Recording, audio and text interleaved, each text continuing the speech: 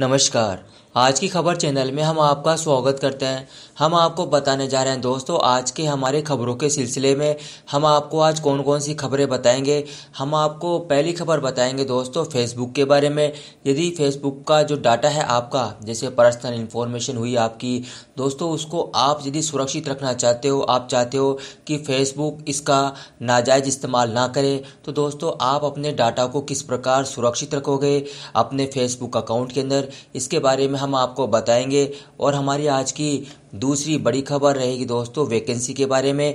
S के अंदर vacancy निकली है 117 पोस्ट हम आपको बताएँगे आपको कहाँ पर अप्लाई करना है। दोस्तों, शुरू करते हैं आज का हमारा खबरों का सिलसिला और पहली खबर हम लेते हैं।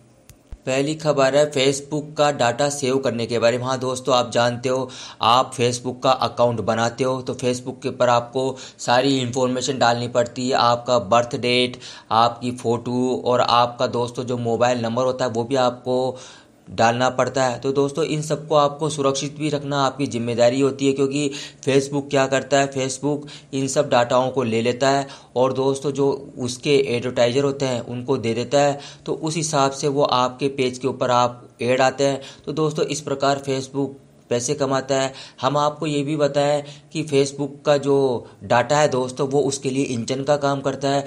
आपका ही डाटा, वो आपके ही प्रति यूज़ करता है पैसे कमाने के लिए। तो दोस्तों, आपको अपना डाटा सुरक्षित रखना है। किस प्रकार रखोगे आप अपना डाटा सुरक्षित?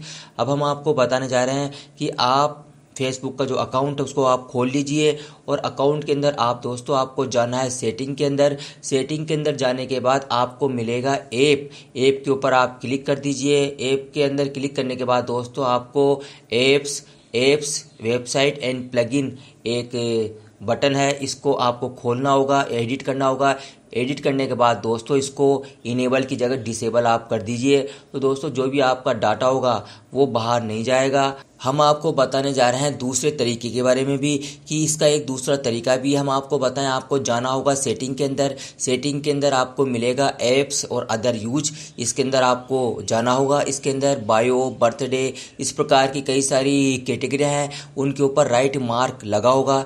इन राइट मार्क को आपको हटा देना है। यदि आपको अपना डाटा सुरक्षित रखना है। तो दोस्तों, यह दो उपाय है। यदि आप यह दो उपाय कर लेते हो तो फेसबुक के ऊपर आपका डाटा सुरक्षित रहेगा।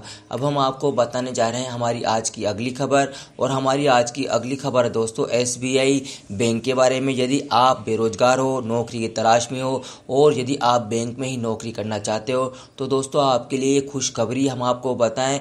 एस बैंक के अंदर 117 पोस्ट के अंदर वैकेंसी निकली है। हम आपको बताएँ कौन कौन सी पोस्ट है।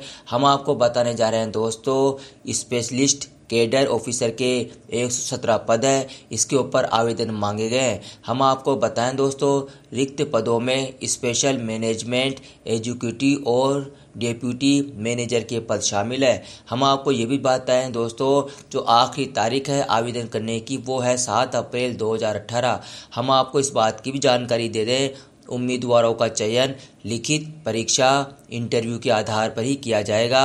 और हम आपको ये भी बताएँ, स्पेशल मैनेजमेंट एजुकेटिव के पैंतीस पद है और जो जॉब लोकेशन है, वो रहेगी दोस्तों मुंबई और दिल्ली। हम आपको योग्यता के बारे में बता दें, किसी मान्यता प्राप्त संस्थान से फाइनेंस में C A I C W A C A M B A अथवा दो वर्षीय पीजी डिप्लोमा किया हो हम आपको बताएँ, आयु सीमा कितनी होनी चाहिए? आयु सीमा होनी चाहिए दोस्तों, न्यूनतम तीस वर्ष और अधिकतम चालीस वर्ष। वेतनमान हम आपको बता दें कि आपको सैलरी कितनी मिलेगी? इसका पैकेज रहेगा दोस्तों बयालीस हज़ार बीस से इक्यावन हज़ार चार सौ नब्बे रुपये तक। और चयन की जो प्रक्रिया है, वो कैसे होगी? उम्मीदवारों का चयन इंटरव्यू के आधार पर किया जाएगा। अब हम आपको बता रहे हैं दोस्तों दूसरे पद के बारे में, डेप्यूटी मैनेजर लो के बारे में। इसके अंदर बयासी पद है। हम आपको बताएँ दोस्तों इसके लिए योग्यता मांगी गई है। मान्यता प्राप्त यूनिवर्सिटी से लो में। तीन या पाँच वर्ष की डिग्री के साथ संबंधित कार्य के अंदर आपको चार वर्ष का अनुभव भी होना चाहिए। आयु सीमा की बात करें तो आयु सीमा न्यूनतम होनी चाहिए 25 वर्ष और अधिकतम होनी चाहिए 35 वर्ष। सैलरी की बात करें सैलरी आपको मिलेगी इकतीस हज़ार सात सौ पाँच रुपये से लेकर पैंतालीस हज़ार नौ सौ पचास रुपये तक। चयन की प्रक्रिया कैसी होगी? चयन की प्रक्रिया होगी दोस्तों, उम्मीदवारों का चयन, लिखित परीक्षा और इंटरव्यू के आधार पर किया जाएगा। हम आपको ये भी बताएँ दोस्तों, अधिकतम आयु सीमा में एस सी को पाँच वर्ष और ओ बी सी को तीन वर्ष की छूट मिलेगी।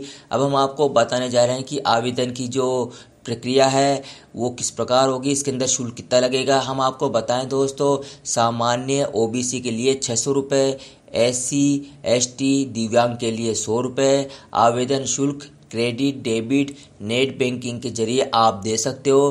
तो दोस्तों, यह है हमारी आज की तमाम खबरें। आप हमारा जो चैनल, आज की खबर, उसको लाइक और सब्सक्राइब करें। नमस्कार।